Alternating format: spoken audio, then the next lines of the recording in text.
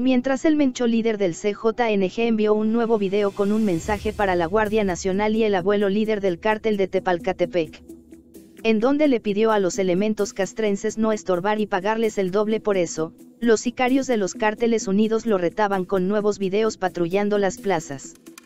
Enfrentamientos a balazos entre el CJNG y Carteles Unidos se suscitaron la mañana del sábado en comunidades de los municipios de Aguililla y Buenavista, registrándose bloqueos carreteros y la muerte de hasta 11 personas, reportan habitantes de la región. De acuerdo con las fuentes, los tiroteos se registraron a lo largo de la carretera Apatzingán-Aguililla, entre las comunidades Bonifacio Moreno El Aguaje, Aguililla, y El Terrero, Buena Vista.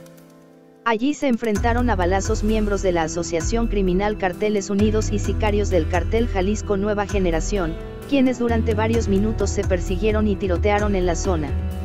Un vehículo fue atravesado sobre la carretera Apatzingán-Aguililla, siendo quemado por los criminales. En tanto, se reporta que sobre la carretera, del Terrero al Limoncito, quedaron tendidos los cuerpos de siete sicarios, mientras que en cerca del conocido puente de fierro habrían quedado otros cuatro cadáveres.